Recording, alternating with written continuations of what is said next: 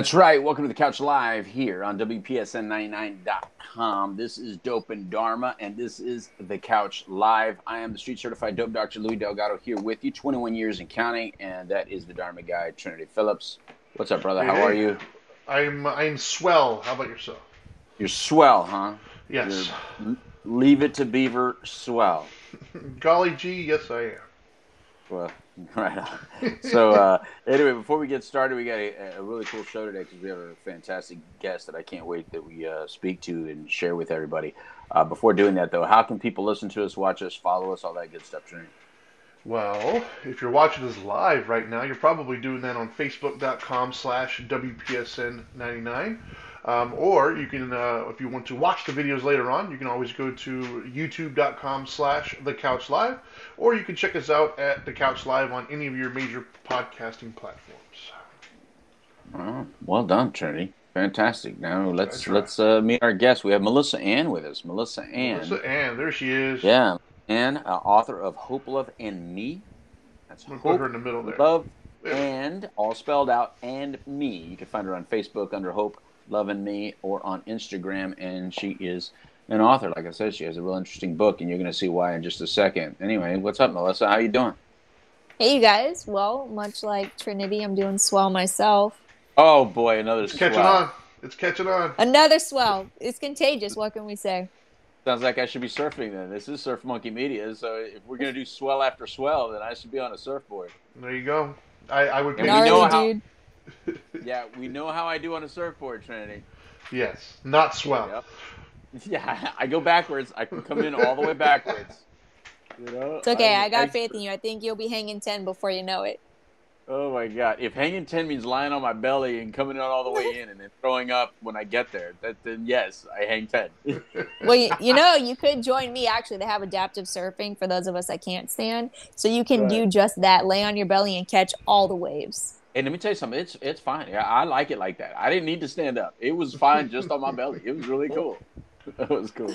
Oh anyway. So yes, Melissa Ann is joining us, and this is we're talking about surviving today, uh, Trinity. Um, why? Because, and I like it because we were going to call it Survivor. Melissa Ann right away said surviving because we're still doing it, and I thought that was really clever. So we stole it from her, and we're using it as the title of the show because she's right. You know, it, it doesn't end now. You know, it's it's you know we didn't get there yet. You know what I mean? Uh, just like when people say, "Oh man, it's great. You, you you've been able to stay sober. You you're victorious." And I said, "Well, not yet. I got to die sober." He said, "That's the Yep. victory. You know, I gotta I gotta leave like this. You know what I mean? It can always still get you. Uh, life is Yeah. life is pretty long. Um, so so anyway, let's uh, let's meet who Melissa Ann is. Uh, Melissa, w- w- uh, so tell us a little bit about you.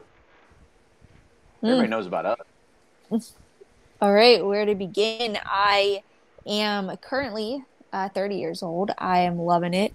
I think getting older is such a cool thing. Now we get to experience, you know, the next stage, right? It's an ongoing process. Like you said, we are surviving. And I always like to Yeah. think that I'm under construction, you know, just like Yeah. all these cool job sites and stuff uh, that we get to watch all around us. We're constantly molding and constructing. And where I'm at now, I'm at a place where I want to help as many people as possible uh, just help them as they journey through this life. And but I haven't always had that mindset. For me, Yeah. I am now coming up on uh, 13 years of being paralyzed from a decision that I made that did involve alcohol abuse as a teenager. That landed me in a situation that you honestly can't prepare for. But Right. there's thankfully healing and resources and awesome people such as you guys along the way that give you that little ounce of hope or just strength and encouragement that you need to just keep going. Well, I'm I'm under construction all the time as well, Melissa. I, you know, when that Mm. uh, song came out, "Fixer Upper" from uh, what was it?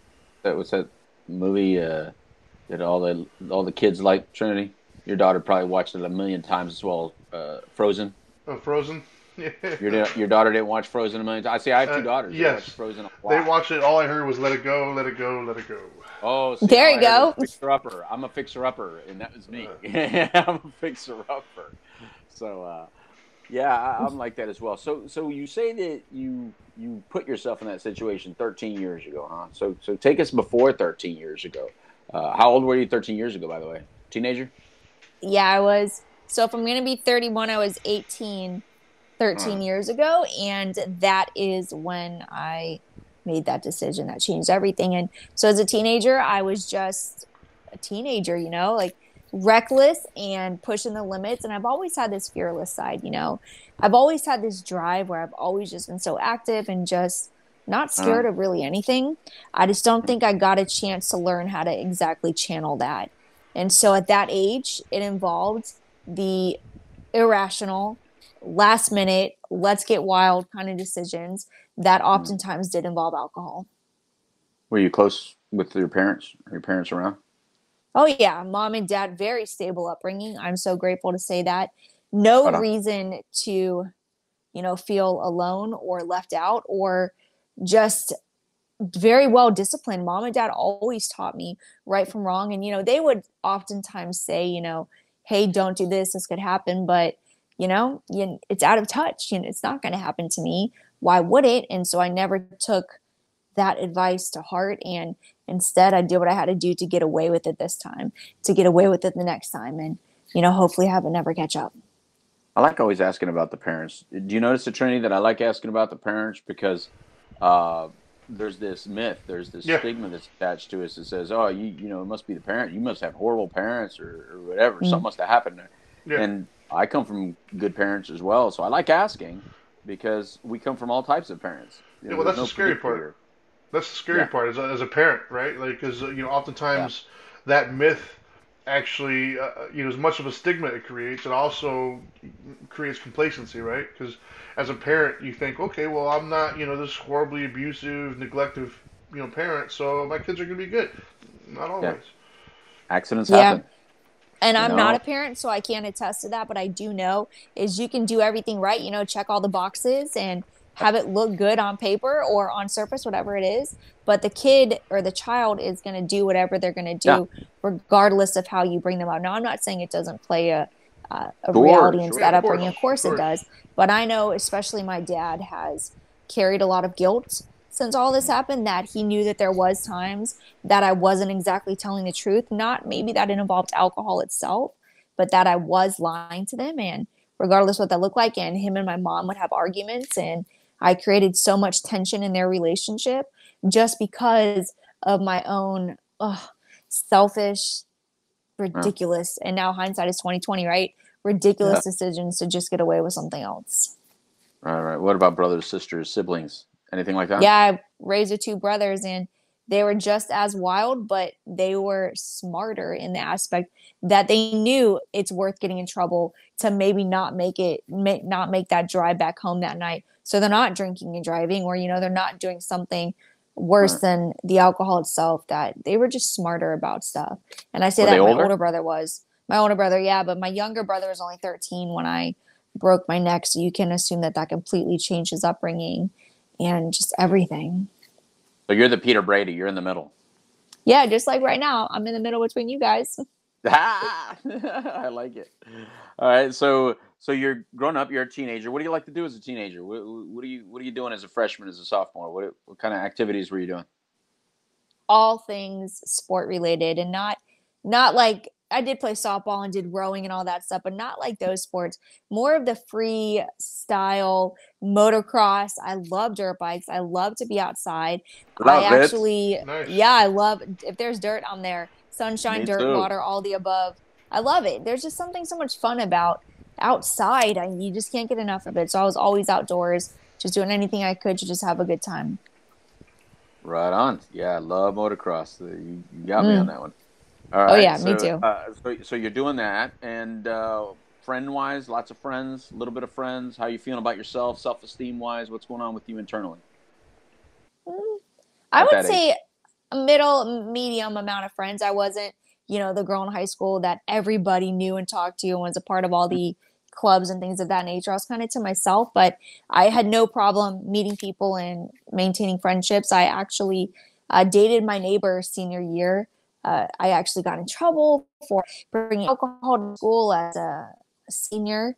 Uh, oh no, it was actually a junior, and my parents took my truck away. So that opened up the door for me to link up with the neighbor next door who is my same age. Like, hey, can you take me to school? And one thing led to another. I definitely liked him a lot, and we started dating. And then I just Right. had a group of friends who too were involved with the same outdoor related activities. Right. It sounds like you had a pretty good self esteem. Yeah, I mean, it, how can you live in a world like today and not face comparison and have insecurities? No matter what you actually look like, it's a very critical place to live right now. Absolutely. And uh, all right, so you you you're drinking casually. You said you got caught in school. You brought alcohol to school. Is that what you said? Junior year. I did. Yeah, I did. I I actually did didn't drink that time. I didn't drink, but I drove my two friends that they both finished a whole bottle of vodka right before first period and they were as you can imagine completely wasted. And I tried to sip of it but I didn't really like liquor so I hmm. didn't drink any but I did have what was left of that bottle which is like maybe two sips in my backpack. So I got in Right. just as much trouble as they did and we all got suspended and faced possible expulsion Okay. So what the family do then? So what, what's the re, what's the response? What's the reaction from the family? To, Oh, oh my grounded God, immediately. Ann is drinking. everything was taken away. Okay. The only thing I was allowed to do was go to school and go to work, which I was a cashier at a grocery store. And mom and dad would have to drive me everywhere. They took away my cell phone, all of my freedoms. And that was the consequence for me making that decision. Uh-huh. And then take us from there. What what happens next? Do you graduate high school before the accident? I do. Or is I the do. accident happen? You graduate high school. Right. Mhm. I graduated, and uh, that summer after school, me and the boyfriend were just back and forth of, you know, 18, uh, not really sure where we're going, and is the relationship Right. even working? So we did end up breaking up. And a week before college was supposed to start, I was enlisted at a community college just to get started because I did not work my butt off in school to get a mm-hmm. scholarship or do anything more than I had to. So I started at a community college or was hoping to. And then one week before classes started, everything changed.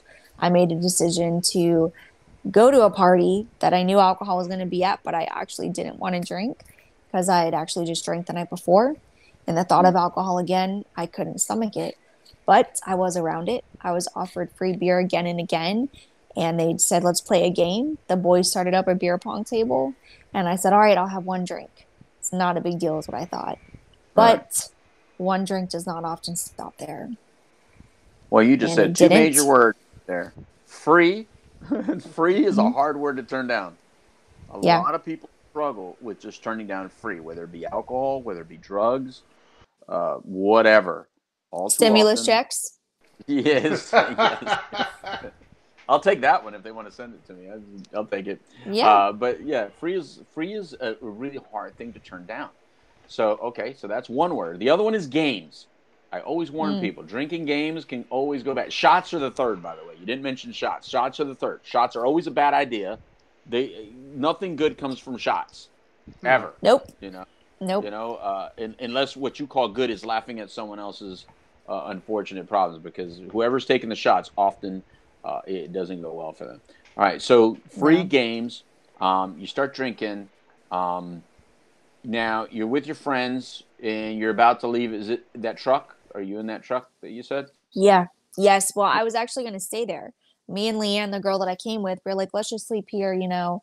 So I we I texted my mom. I was supposed to be home at 1 a.m. and I asked her, I was Right. like, hey, can I sleep at Leanne's house?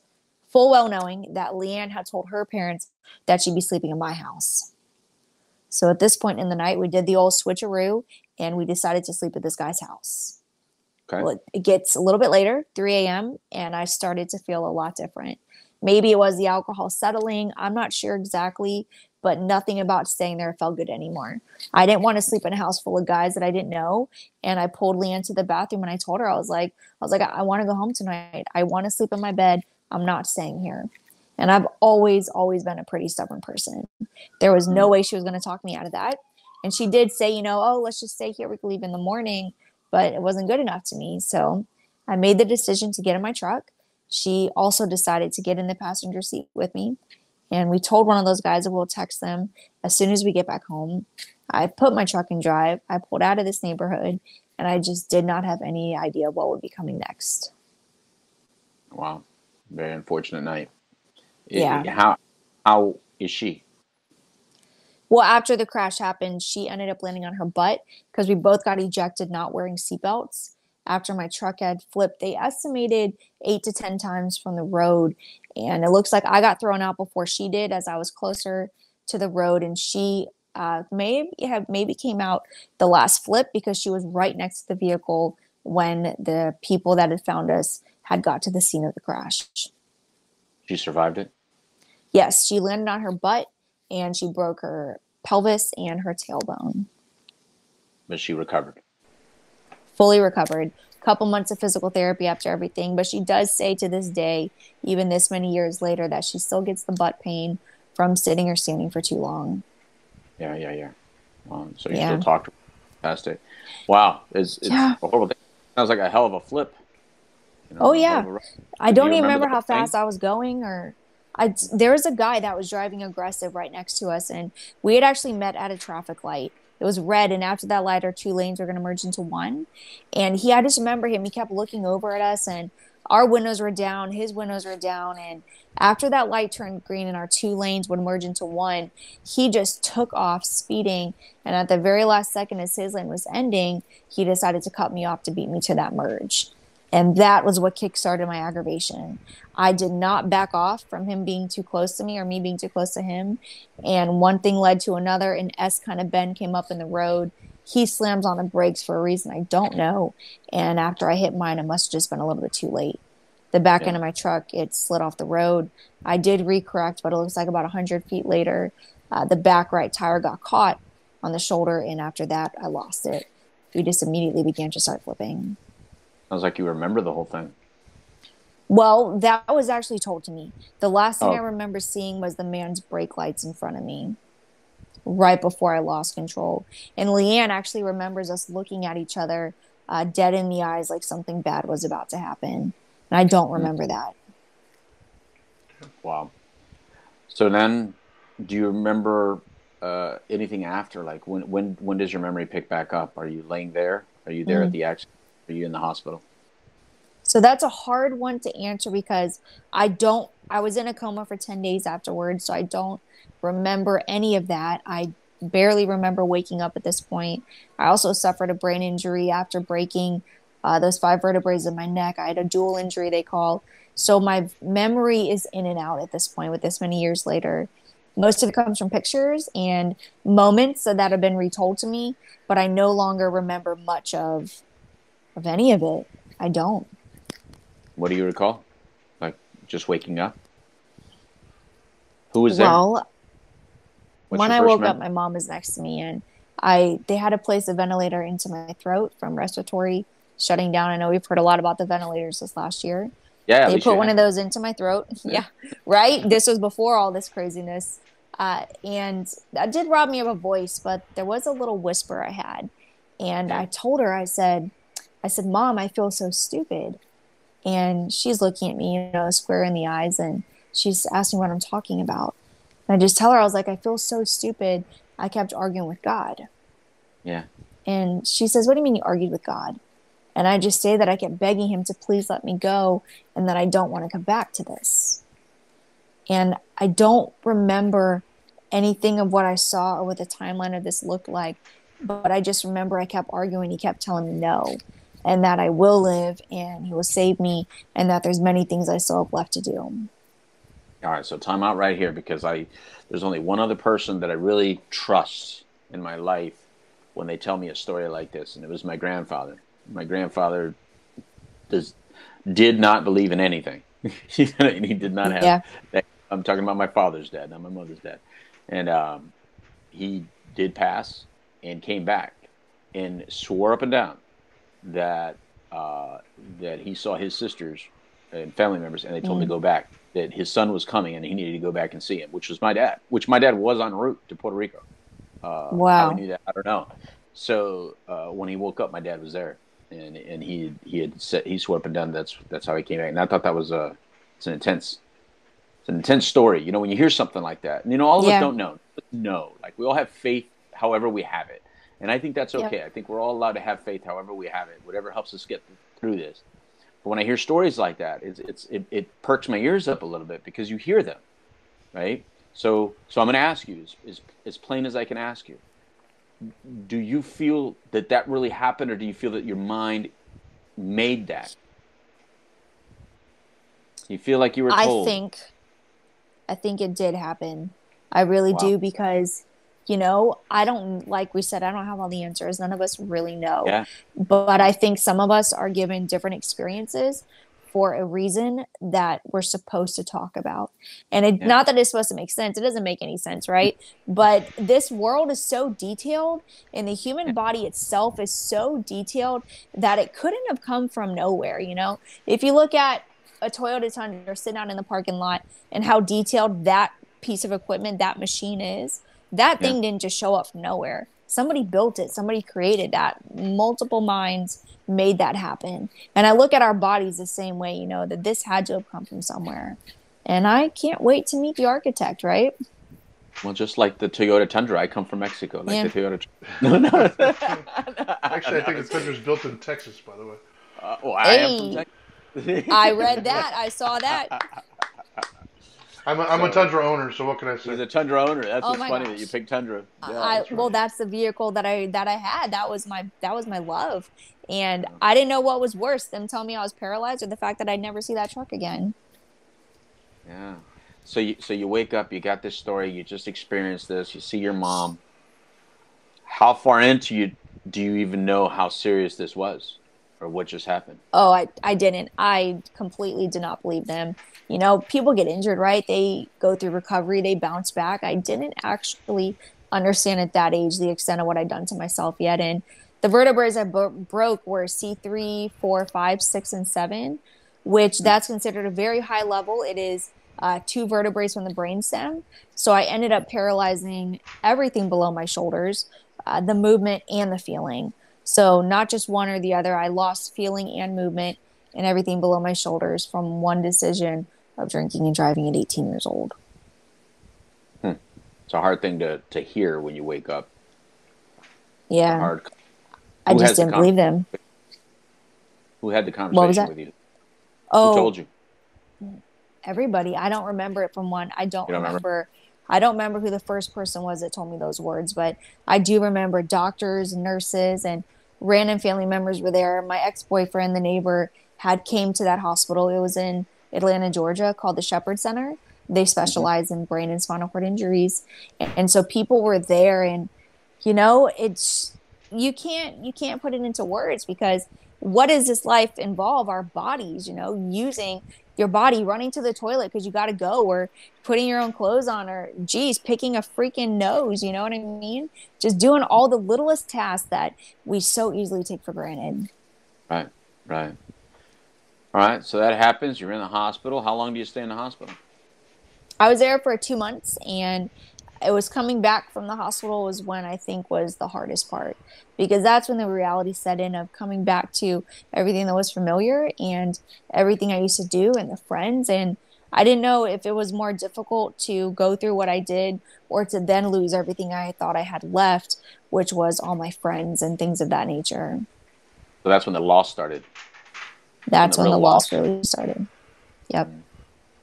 Yeah. That's So- when it started. Exactly, actually. Was your home modified already for you by the time you got home? Yeah, mom and dad had, they got two weeks' notice that I was coming home and that's when the community rallied up and people uh, that we knew and even didn't know came and helped my dad widen the doorways and get it modified so I could take a shower, you know, expand the bathroom and everything had to change. You know, one decision does not just affect us, one person, it affects everybody.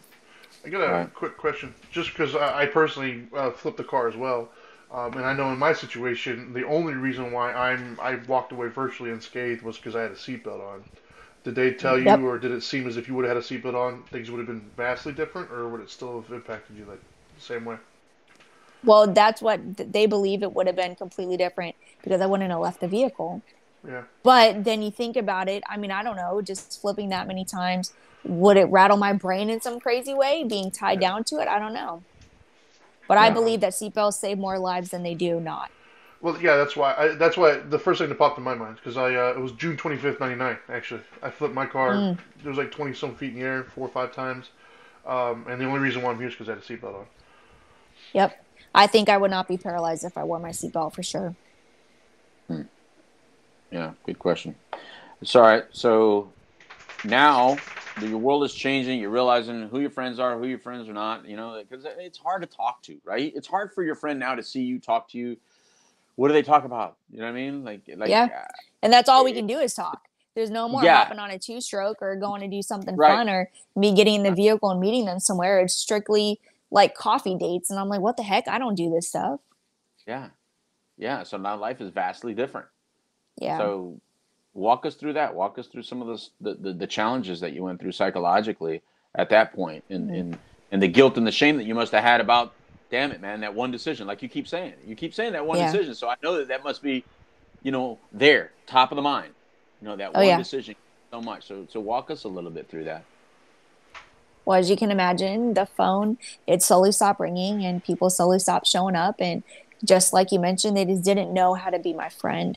And it's not just them. I didn't know how to be a friend either. So it goes both ways. And, you know, the human nature in every single one of us is pretty selfish. Nobody typically does anything unless it's going to benefit themselves in one way or another. And me now being what you call a quadriplegic, was benefiting anybody else. So they backed off, and the time started to accumulate that this was really going to be the rest of my life.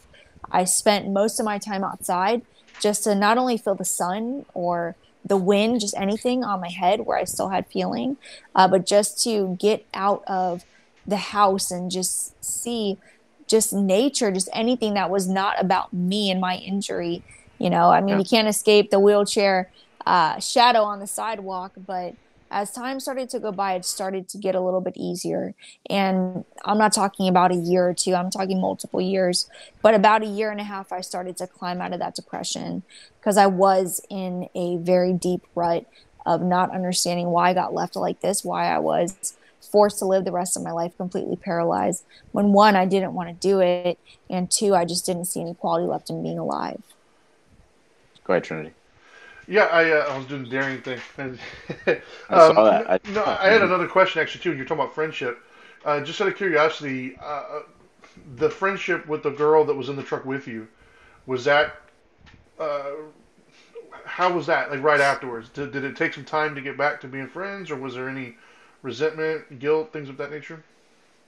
So I am super fortunate to say that she was the one person that never stopped showing up. Wow. And you want to know what's wild about that is we had just started hanging out like three weeks before this happened. We were new friends. Wow. We had no no attachment to each other yet. We were just started hanging out because we had both had just gone through a breakup. And so that brought us together. You know, we had time to hang out and to escape and just think about something other than what we were going through. And so we were new friends, but I'd say for like three years, she was at my house next to my bed every day when other people didn't know how to show up. Wow. Melissa, yeah. I mean, you had to think at that time, you know, I don't want to live like this. There had to be some of yeah. those thoughts. You know, I don't want to oh, live oh, like yeah. this. How, how, am I going to be able to do it? Um, yep. And I'm sure they, your family was concerned about that. Like, you know, uh, how much hope you're actually going to have, you know, because hope is so vital. It's so necessary to move forward in our life for everybody, not just people – in your situation. It's important for everybody. Without hope, it's like you have no fuel to move, and, and we need yep. it. Um, so the tough question is, how did you prevent yourself from giving up? Well, my dad gave me an ultimatum, honestly, because, like I said, this doesn't just bring down your world; it brings on everybody, and that's exactly what I did. I was it was a ripple effect of negativity and more than guilt and shame, I hadn't experienced the guilt and shame yet. It didn't hit me yet. Maybe you could call that just the young mind. But more than anything, I had a lot of anger. Anger was what was just constantly dragging me down and just so angry that I not only that I did it, that I that I'm the reason that I'm like this, but that I just had to keep living like this. And my dad told me he's going to give me two years. He said, Melissa, I'm not saying this is easy. I'm not discrediting what you're going through, but I'm giving you two years to figure this out. I will be there for you. I will help you with any exercise you want to do. Your mom and I will be here. But if you don't figure it out, we're going to have to find a different housing alternative because we can't keep living like this. And when my dad had that conversation with me, of course, you know, I was like, okay, like whatever. And just mm-hmm. thinking in my in my own way but again i kept going outside and I kept I guess you could say I started to talk to God and I I was like, I don't know why you wanted me to live like this. Like I was doing just fine before I made this decision, but I did I was given a second chance. And I started to own that. You know, I started to own the fact that I may not like where I'm at right now, but who's to say I can't get to a place that I want to wake up to? Because isn't that what we're all trying to do at the end of the day? Just get to a place that you want to wake up to. Yeah. And so I decided, all right, I'm going to have to create it. Mm-hmm. And what was I it? Did. What I was well, it was a couple things. It's going to be different for all of us, but I was like, all right, I was going to go to college before I broke my neck. Can I do that now? You know, can't write like you would for notes or test or even the ability to flip pages in books to read or study. But I went up to that same college. I wheeled into their disability office and asked them if I could be a college student. And they said, yeah. They said, we have resources. They said, let's sign you up for one elective just to see how you handle it. And so I took it and I got the lowest passing grade possible. And maybe the professor even helped me out for all I know. I don't really know. But I passed it, right? And I got this little ounce of encouragement that the college thing was not going to be easy, but it just might be possible. So I kept going to school to chase a degree. Wait, wait, what was the course? It was psychology. Uh, okay, all right. Psychology. Yeah, it's always that one. Yeah. All right, go ahead.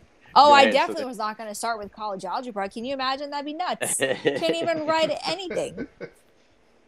Well, like when I took psychology, I said, well, none of the answers are, are right or wrong. It's all theory, isn't it? So Yep. can I like answer anything? But no, apparently there was right and wrong answers. But but go ahead. Nope, so because so and so made that theory, so you better get it right when it's Yeah. multiple choice. yeah, in 1944, I was like, oh, that, that, that Yeah, so that's why I took something. Yeah. go ahead. Yeah, that's why I just took something I thought, you know, maybe I could pass. Because Yeah. if I would have started with college algebra, that'd be setting myself up for failure, right? So why set myself up for failure if I know it's going to be hard enough, you know? So what did you So we want to did that.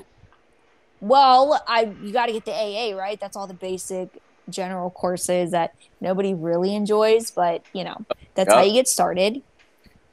So I did, and I was like, all right, I finished that AA in like three years. Uh, took a year break, and that's when I thought, okay, do I want to keep doing this? Do I want to go on to a bachelor's? And if so, what can I do for a job if I do get that degree? And I was gonna first do criminal justice because it's just intriguing to me. And I was like, I don't think anybody would ever suspect some paralyzed girl to be like strapped up with snipers under the armrest, rolling in on scenes, making moves. So I was gonna do that, but then I was like, you know, it's not really my greatest uh like it's not the highest interest to me. So I decided to just go into communication, human communication, public relations. Uh, majored in speaking. Uh, my voice, I figured God left that working. Let me major in it, so I continued on, and I then I finished that and took another uh, long break. This one was five years, and now I'm currently in my master's program trying to get a degree in nonprofit management. That's a high achiever. Like, Right. what, what, what is that about? Well, my mom, she talked me into it. You know. Yeah. She said, Melissa, we're here right now. Uh, we're not Yeah. going to be here forever. You need to get to a place where you can support yourself if we're gone. Right on. So why not? so I said, touche. Well, I love people. That's I- I Trinity's help voice. people. So wait, time out. First you the tundra like Trinity, and now you say touche like Trinity. Are you related to Trinity? Great Is minds this your daughter? alike, man. Your daughter Trinity? You didn't tell me about? Great minds think alike, man. yeah, right on. yeah, so I was like, uh, let me just do it. I don't.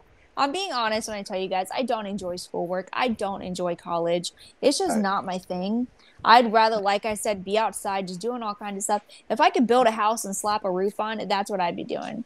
Totally into it. But that's not my options right now. So instead of staying in the rut of what I can't do, I can be a college student. I can work on my future. So that is what I'm doing. Right on. Mm. You know, why nonprofit?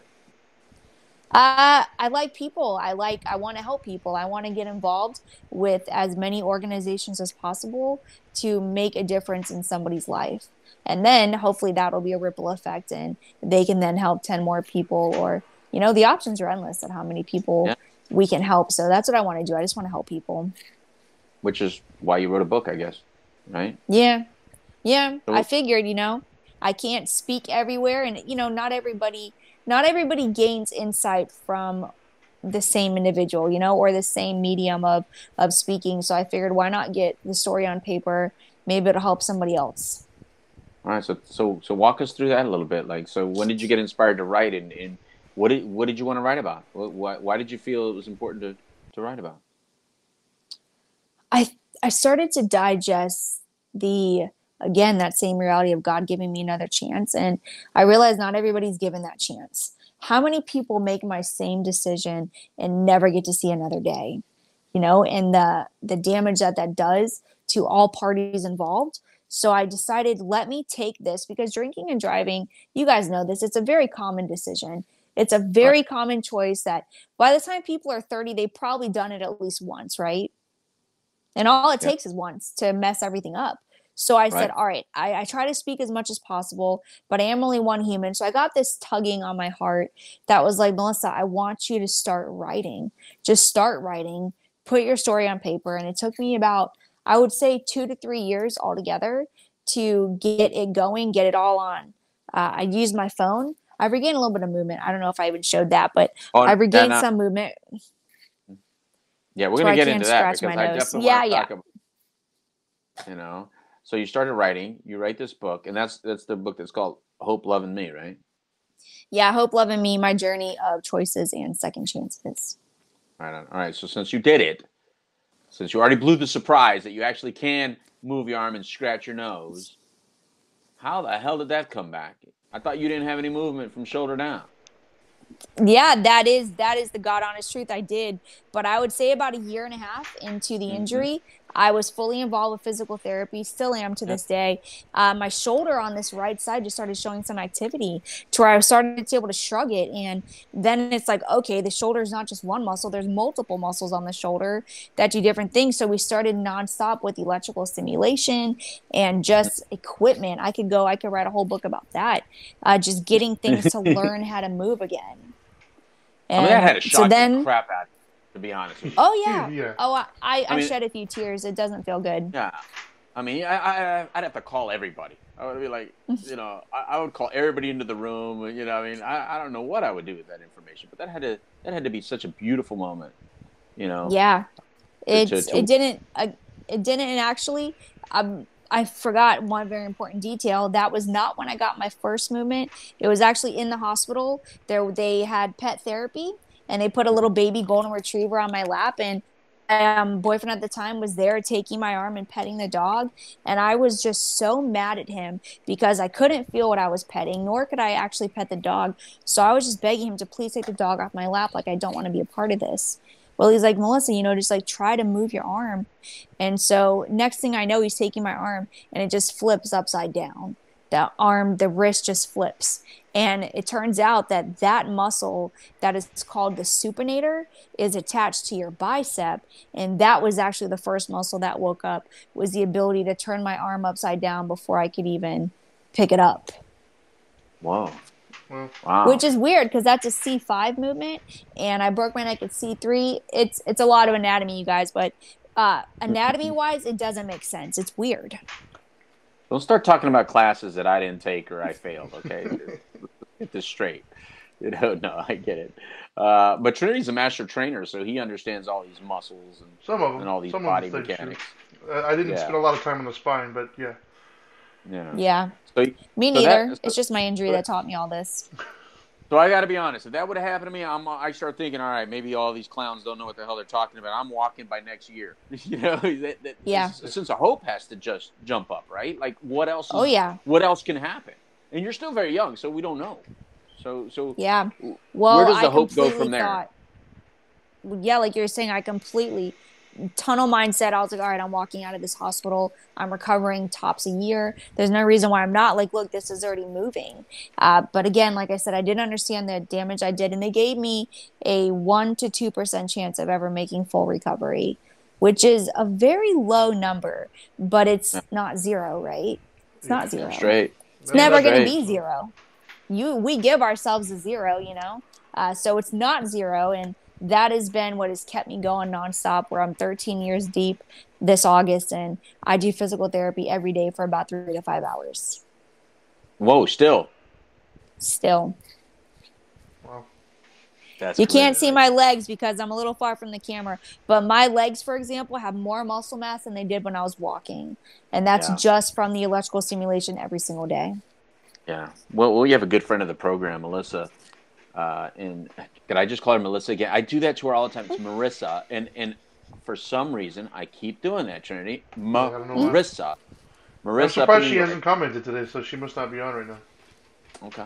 Yeah, Marissa is a good friend of our program. She's in a wheelchair, and um, she she po- I, I really love it. She posts these she posts these uh, videos of her exercise and stuff. So it's always beautiful to watch her get out of her chair and do all of these exercises and and stay in shape and all that stuff. And and, and you could just see the determination. It's like it's just like awesome, you know. Because here I am, I, fully mobile, and I'd rather just lay down and do jack.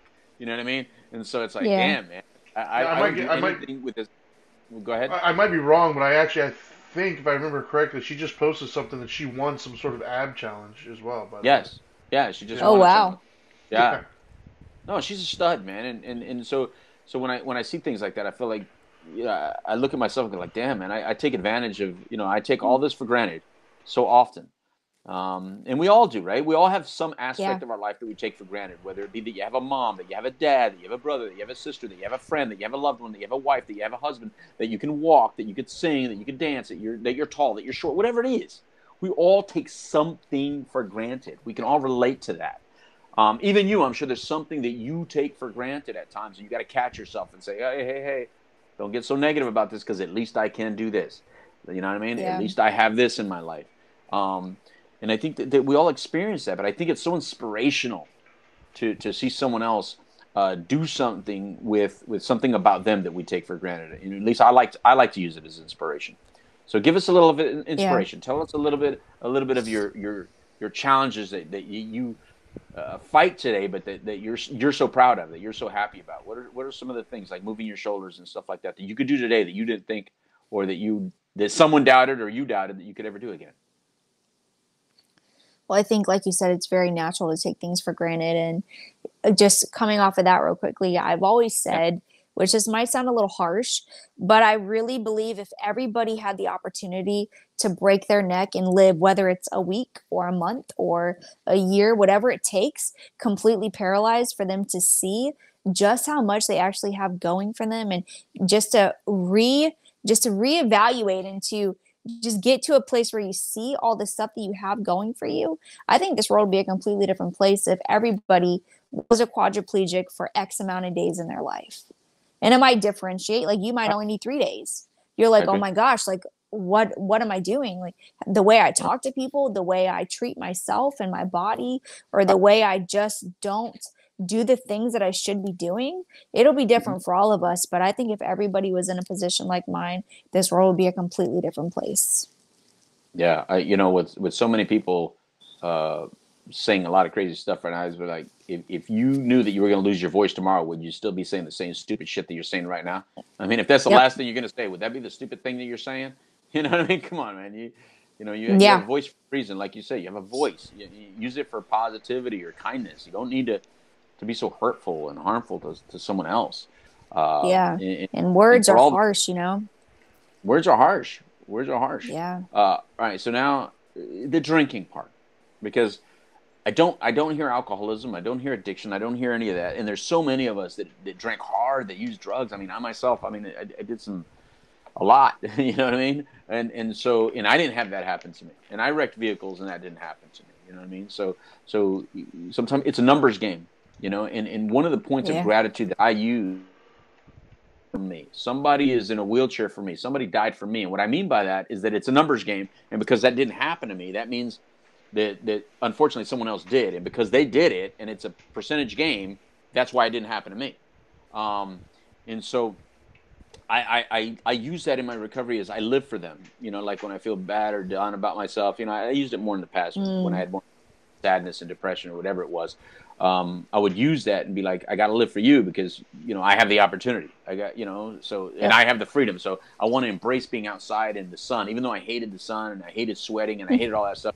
I'd be like, yeah, but the guy on death row or the guy in prison right now doing my time, he can't be out in the sun. So, so embrace it, man. And, and I would force myself to embrace it um, rather than be upset with it because of that reason. You know, so a lot of little things like that.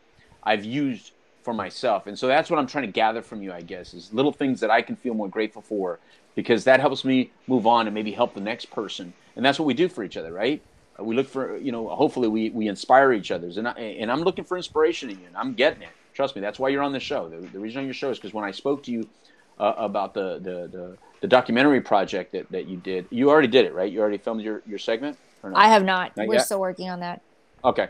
All right. So, uh, but um, when I talked to you about that, I was like, oh man, I got to have you on the show because it's inspirational to me, and I love having inspirational people around me. Because, like you said, we're all still surviving, right?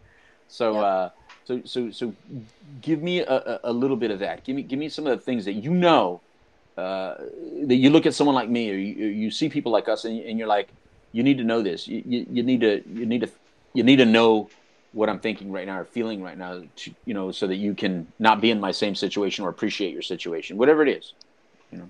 Yeah, well, that's the thing is question we are, you know, like I am you and you are me. We're, yeah. you know what I mean by that. We're not actually each other, but we are. Like we've made so many of the same decisions, and the fact that you know someone that I'm speaking to isn't in my position, like that's a blessing within itself, dude. You know, like, and I always tell people, like, when I speak to a lot of DUI courses, that you know we've made the same decision. We obviously got caught differently, but the fact that they get to leave the chair they're sitting in and walk out of the building and decide whatever kind of person they want to be for whatever time they got left is such a mm-hmm. blessing within itself because we are each other. And you know, I've never actually thought of it the way that you just said it is that you're living for the people that can't right now or that don't get that opportunity. You know, like to not and i still got to remind myself also like listen just because i'm a quadriplegic and i'm still a quadriplegic doesn't mean that it's not my human nature to take things for granted as well like i forget i've been feeding myself for so long just with the shoulder and bicep muscle and a brace that i got to wear that i forget what it feels like to have to be fed you know and that was my life for a year and a half is to wait on the next bite as i'm looking at my food that's getting cold and just wishing that i could put half of that steak in my mouth right now because i'm that hungry you know and just hoping that the person that is feeding me you know can give me that bite asap please like i'm hungry. But you know like i forget that and i've i, I had to be fed and i still yeah. forget it you know like, there's nothing wrong with being human, but this life is so much more mental than it is physical. And it took me losing the physical to see that, that my body was actually just a distraction. My body was just distracting me from the mental battles that I was refusing to face. That's all I was Wait, doing. Pause that. Pause that right there because I think we. I think you just said something pretty brilliant, and I want to make sure that that, that, that we, we sit on that a little bit. Trinity, you know, Trinity is our Dharma guy. So the reason he's called the Dharma guy, he's a Buddhist. He's our spiritual guy, right? So Trinity, uh, uh, can you um, maybe elaborate on something on a point like that for us? Trinity, Trinity, the the the, the body's a distraction. I, I really like where she went with that. Um, you know, because I, I, I think it is. Uh, you know, I, have never looked at it like that. I never thought about it like that. Um, but, but um, I want to remember. I mean, I, I'm assuming what you're meaning is just uh, as far as from a spiritual level on our on our journey inner peace, if you will. I would say our body's a distraction just because, you know, let's just take something as simple as meditation. You know, you're sitting there trying to meditate and you're worried about your leg feels uncomfortable or this. You're focused on all these other things as opposed to the goal at hand, which is trying to, you know, be present. Um, you know, the life itself is full of distractions, man. We've talked about that numerous times. You know, body's just oh, another one of them on a long, long list. So many of the things that we focus all of our attention on really is just a distraction. Yeah, and we use it like a tool. I mean, and, and there's, you know, there's people that, uh, you know, that are, are very attractive. So, you know, people let it be more distracting because everything, you know, people don't really care what they have to say or who they really are. They just view them as an object of beauty, yep. right? And, and then, uh, uh, some people are very strong, like Trinity's a very big, strong guy. So, you know, people treat him a certain way. So it's easy for people, you know, not to get real close to him for whatever reason because he's big and intimidating or, or whatever. And so, so not only is it a distraction to you, but people treat you differently based on what they see and feel. And now you're experiencing it different, Melissa. So, so you take that same knowledge that body's a distraction. Now people talk to you and behave differently to you. You're in a wheelchair. You're you're you're. What's your official? Is it? Are you still quadriplegic? Is that a quadriplegic still? Okay. Yeah. Right. What's the, the lack of, of hand function alone makes you the, a quadriplegic? Yeah. Okay. Okay, so when So it can people go see- from anywhere to being fully paralyzed and needing respiratory support, all the Right. way down to full arm function, arm function, but no finger function. Okay, all right, thank you. Uh, I got a, Yeah. uh, another question. Um, so uh, obviously it was it was illegal to drink and drive, and the ambulance and everybody else showed up. Did you have any legal issues after all this that's was a said good and done? question. Yeah, that's did a they- Yeah, that's Yeah, actually 'cause- I get that question a lot. Well, the compassionate side of me is thinking, yeah, you know, you kind of already paid, let it go. But uh, obviously, you know, there's another person potentially involved. I mean, so I I have to Yeah. assume there was some legal problems. So there actually was not. I did not get Wow. uh can uh, what's the word? I was not charged. I'm sorry, charged with a DUI because what from what I was told is that they did not think I was going to live through the injury. It was more of a Jane Doe kind of status when I got to the hospital, and based on Hmm. the extent of the damage I did to my- myself and the harm to my own body, and there was not another car actually involved. Leanne's parents could have definitely pressed charges and taken it to a different legal level, but they did not. They I did not Wow. go any further than my diagnosis. And I guess, I mean, at the end of the day, my version of a DUI is just being trapped in my body for uh, the rest of the time I got left. But I've definitely spoken to many DUI offenders in the course of my injury. And one guy stands out in particular that was very harsh with me and uh, almost, almost very mean, telling me that I should have still gotten a DUI like he did and that it's not fair that I don't have to go to the classes and the courses or pay the fees, you know, that they're required to with the DUI process. And like, I get it. I get it. I'm not saying I totally deserve the DUI, but would I take 100 DUIs over this? Oh my gosh.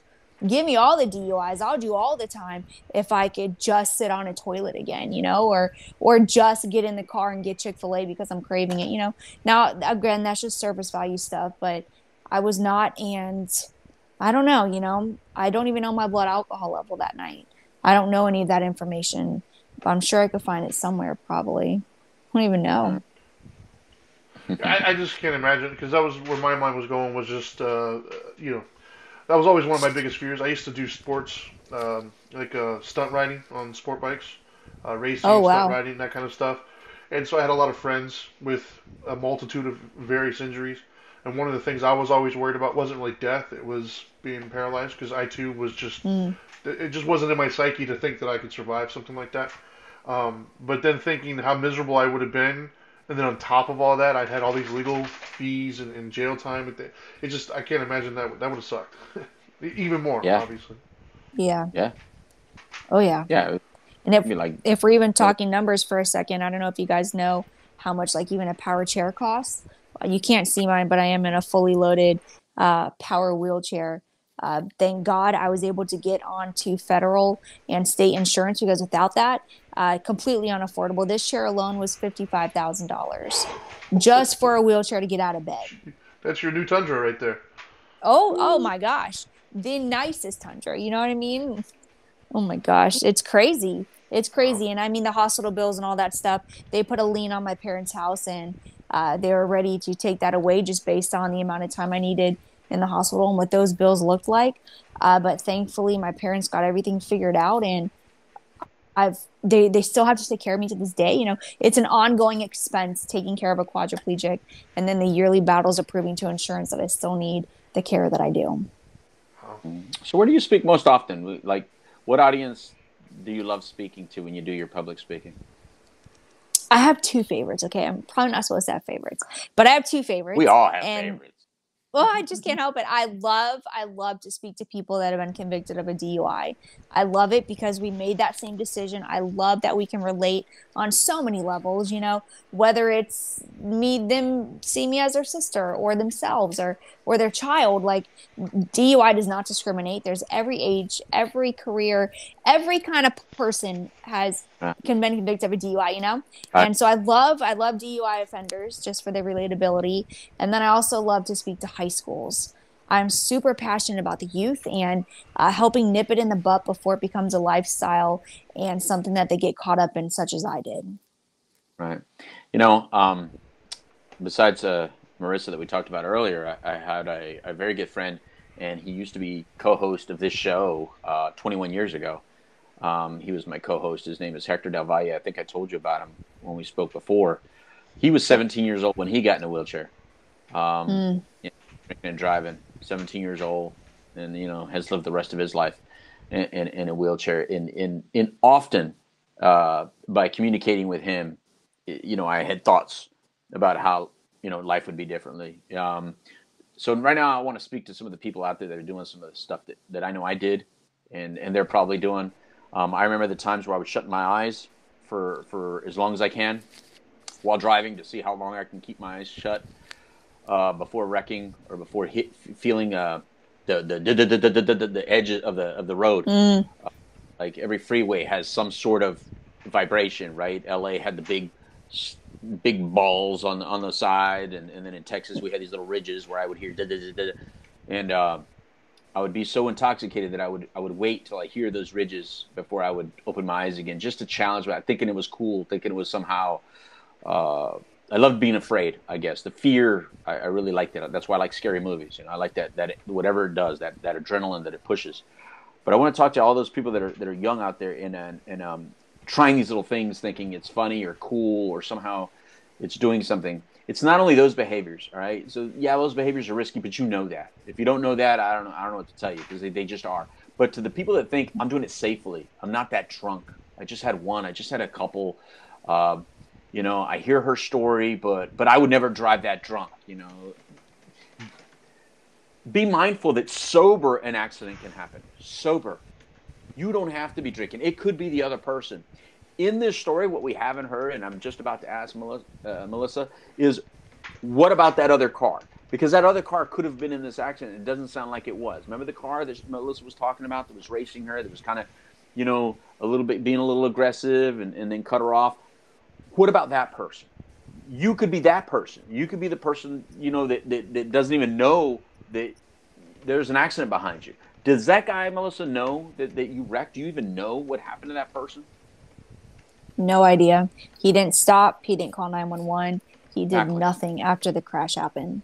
Exactly. And I'm thinking of the countless people that I can think of that did know that an accident just happened, including ourselves, right? I know I've been in situations where there was an accident, keep it going, keep moving, don't even stop, you know? And, and so there's so many stories. Everybody has one, everybody has something. Um, it's so beautiful to meet someone like you that can um, not only be open about it, because I think a lot of people are open with their story, but you're good at telling it. There's something about you and the way you, you, you say it. I think it's because you still have a good sense of humor. I can feel your sense of humor. Um, I can feel. Uh, it's that communicate. You think that's what, the psychology of the communications degree, huh? That's right. Plus, I love to laugh, you guys. If there's a good yeah. time, we're having it. Yeah. Well, that's the thing. It's you're still cool. You know, whatever whatever you had before, you still are. It didn't take that from you. You know, yeah. uh, it, it might have taken your body uh, in in a different way. You had to make some adjustments to that. But but man, there's I, I guarantee you that the Melissa that we're talking to right now, there's a lot of same Melissa still in you, and and so that's that's what I think is pretty cool, man. Because sometimes people live through something and and and they're completely changed like it, it throw them yeah. threw them off completely. They lose who they are. They lose their personality. Some of you are family members of, of people that have a drug addiction or, or, alcohol problem, and you're like, man, I don't even see my brother in that person right now. I look in his I look in his eyes, and he's not there. You know, you're yeah. there. You know, you're there. You're present. Your family has you. You have yourself. So, final type of words. What what what what is it you want to tell us, our viewership, our our, our listeners? Uh, whatever you want to tell them, it, it's on you. Take these final moments for yourself. Well, you guys, I know that none of us have it easy, and I don't know what it is that you're waking up to right now. But what I do know is that we can all get to a place that we just enjoy waking up to. You know, I broke my neck. I broke so much.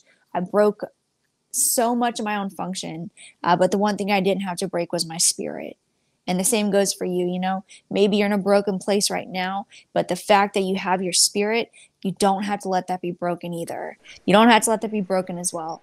And like I mentioned, I don't know where you're at, but wherever it is that you're at right now, can I just wrap up with letting you know that I love you? You know, I love you because, you know, you woke up today. Maybe maybe you barely made it out of your bed. Shoot, maybe you're still in it. But the fact that you woke up today and you're facing whatever it is that you're waking up to right now, that deserves a big hug and an I love you.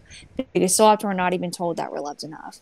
But even if it's just from a stranger, me, uh, just so you know, someone's in your corner, that wherever you're at right now, this is just where you're supposed to be, and you get to keep going. And maybe, maybe this is your chance, your opportunity to figure out what it is that God still has left in store for you as well. God bless you guys. Much love. Thank you. Thank you. Trinity. Right on. Um, well, first I'd like to say, uh, uh, Melissa, man, thank you for, for coming on. It was nice to meet you. Um, I, uh, I, I obviously had no clue what we were doing today until uh, until you came on, so uh, it was a really pleasant surprise. So thank you. Um, I, would say for me the takeaway today really is just something Lui and I say all the time on the show, and that is you're not defined by your worst moments. Um, you, you, know, there's a ton of people out there who do varying degrees of, of decision making. Some good, not so, some not so good. I heard you mention so many times that you made the decision. And I think that uh, there's many people out there who, who will focus in on a decision that either they or somebody else made that hurt them or somebody else. Um, and then that person becomes defined by that one decision, and that's all they ever are to them or to other people. And I think you're proof that yeah, you know, decisions happen. You know, sometimes we don't win them all. Sometimes we make some stupid decisions. However, that doesn't define you. You know, you can you can come back after that decision and change your life, change other people's lives, you know, there, that's where the hope comes in, I think, because there's always that next moment, there's that next tomorrow, whatever it may be, to where, where you can overcome and, and still make an impact in people's lives. So, uh, thank you for, for for expressing that to us and reminding everybody. It's awesome. Thank you very much, Trinity. All right, so that that's Melissa Ann. Uh, Melissa Ann, Hope. I mean, yeah, Hope, Love, and Me. Hope, Love, and Me is the name of her book. Look it up. Hope, Love, and Me on Facebook. Hope, Love, and Me on Instagram look look it up, follow her, uh, get to know her if you want to, ask her questions, get her to speak at your next next function. She's inspirational as hell. Um, anyway, so surviving, it's never over, right? We're all still surviving. It's not over yet. So uh, we all got to keep moving and got to keep uh, doing some things. And, and, and I love meeting people like Melissa uh, that can just, you know, kind of renew the day. I think life always starts every day and and it could just renew the day, give you new energy, and and um, make you feel good about just taking ownership of what you got, regardless of your situation. Now, now I'm the kind of person that looks at it like um, all the negative stuff that I ever did, all the negative choices that I've made, uh, all created who I am today. So I don't regret it. Um, but it, but it, but it helped me be who I am and, and helped me move forward. And, and I think that I'm alive because of my negative choices in a weird way. That that's the only reason I'm alive. Because if I wouldn't have made some of those negative choices, I, uh, I, I don't, I don't know if I would be here. And I kind of look at, at, at Melissa and I hear your story, Melissa, and I think, wow, that actually made you live forever. Because I don't know if you would have written a book if that didn't happen to you. I don't know if you would have spoke to the amount of people that you speak today and inspire so many people if that wouldn't happen to you. So the, this this one horrible decision that yes, it, it, it took you in a complete different direction, but now you'll live forever. You'll live forever in my mind and the minds of anybody else that has ever in contact with you, ever read your book, or ever has a pleasure of hearing you speak. And for that, I thank you. Uh, so, from all of us here on the couch live, follow us. You know how to find us at the Dope Doctor, at the Dharma Guy. Go to Hope, Love, and Me on Facebook and, and Instagram uh, to be connected with Melissa. And uh, we'll see you next Friday. Adios, amigos. It's time for a taco. Goodbye.